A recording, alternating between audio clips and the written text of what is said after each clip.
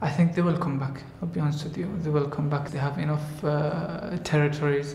Till now, they have ter- territories.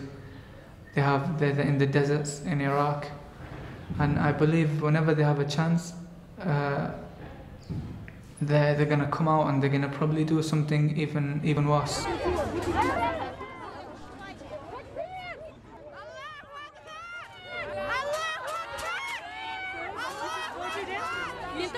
كانوا والله. بعد عنوان.